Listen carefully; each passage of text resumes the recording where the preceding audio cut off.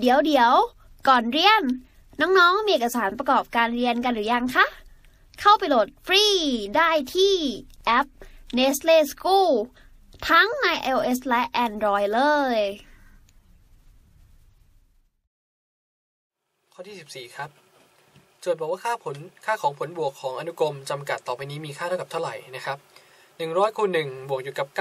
99คูณ2บวก98คูณ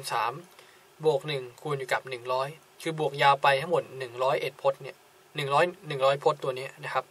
ถามว่าผลบวกอนุกรมตัวนี้มีค่าเท่ากับเท่าไหร่นะครับโอเคเนาะแนวคิดในการทำโจทย์ลักษณะแบบนี้นะครับก็คือถ้าเกิดว่าเราเนี่ยไม่รู้สูตรหรืออะไรทั้งนั้น เราพยายามอาศัยในเรื่องของซิกมาเข้ามาช่วยนะครับ จากโจทย์นะครับ 100 คูณอยู่กับ 1 บวก 99 คูณอยู่กับ 2 บวกจนถึงเท่าไหร่ครับ บวกจนถึง 1 คูณกับ 100 ตัวเนี้ยสามารถ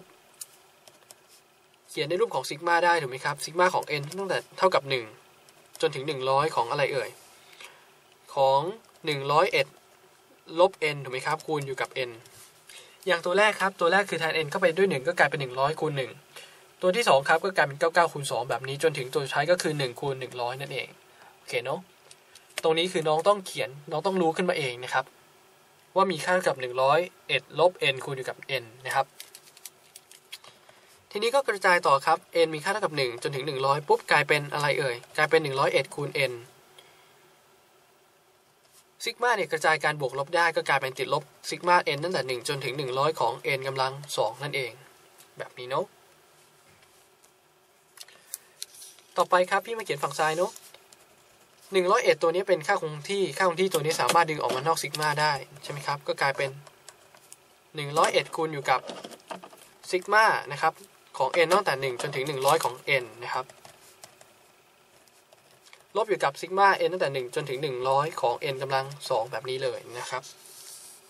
โอเคนะ ต่อไปครับซิกมาจำสูตรซิกมา n ได้ไหมครับ ซิกมา n ตั้งแต่ n จนถึง 1 นะครับ n 1 จนถึง 100 ตัวนี้ก็คือกลายเป็น 1 บวก 2 บวกไปเรื่อยๆ จนถึง 100 ถูกไหมครับ ก็กลายเป็น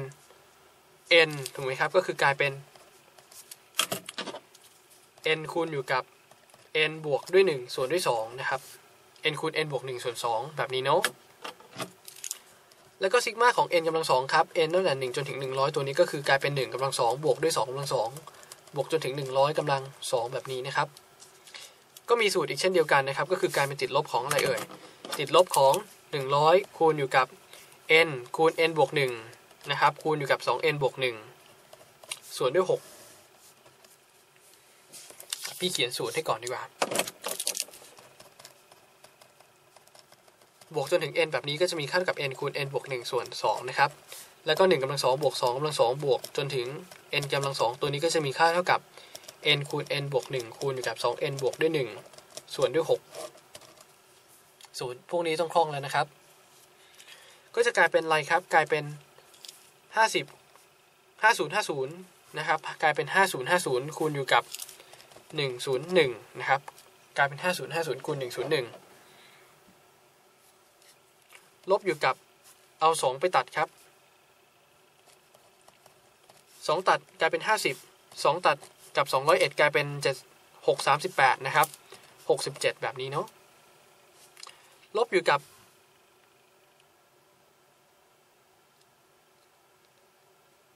67 67 ครับ คูณอยู่กับ 50 แบบนี้เนาะ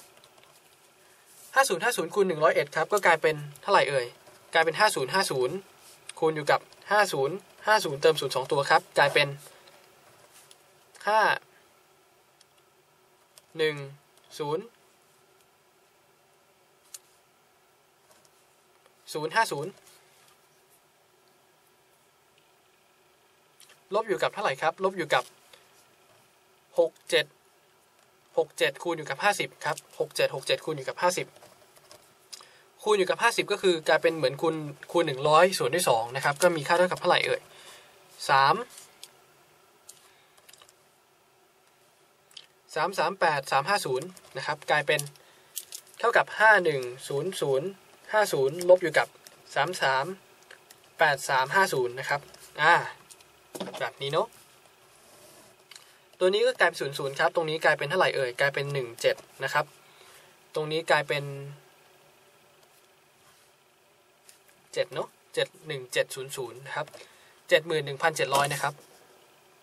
อ่าหนึ่งหมื่นหนึ่งพันเจ็ดร้อยนะครับหนึ่งแสนหนึ่งหมื่นหนึ่งแสนเจ็ดหมื่นหนึ่งพันเจ็ดร้อยนะครับ มีหนึ่งข้างหน้าด้วยนะ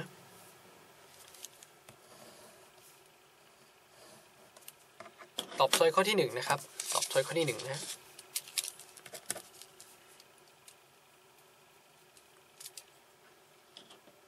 สรุปโจทย์ข้อนี้อีกครั้งหนึ่งครับ ก็คือโจทย์ถามหาผลบวกของอนุกรมจำกัดนะครับ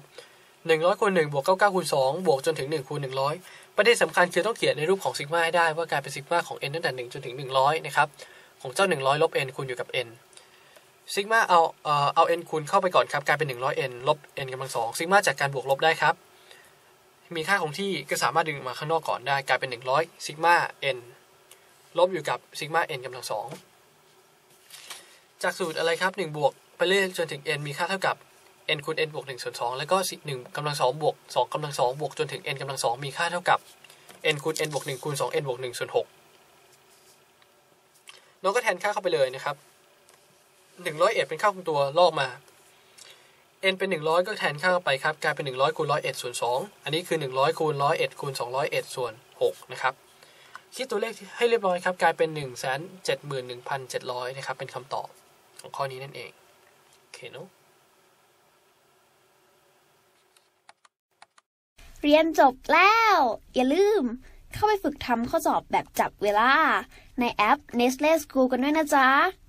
ถ้าน้องๆมีคำถามสงสัย ไม่เข้าใจตรงไหน ถามว่าในแอปได้เลย แล้วพี่ๆจะรีบเข้าไปตอบให้นะคะ วิธีการสะสมความรู้ 1. พักผ่อนให้เพียงพอ 2. เตรียมสมุดจดบันทึก นี่เอาสมุดมาไหนอะสมุดมีอยู่นี่เจอแล้วเจอแล้ว 3. ตั้งเวลาดูวิดีโอความรู้อย่างสม่ำเสมอโมงสักสิบโมงถึงเที่ยงเลยไหมป้าอืมอืมกำลังดีเลยสองชั่วโมง 4. ผ่อนคลาย เฮ้ยกินกินกินไป กินกันดีกว่า อร่อย 5. ชวนเพื่อนมาโหลดแอป Nestle School อืมแอปนี้โหลดยัง น่าใช้มากเลยใช่ในเรื่องกูนะกดตรงนี้ก่อนนะ อ๋ออ๋อโอเค 5. วิธีการสะสมความรู้อย่าลืมกลับไปทำกันนะคะ บาย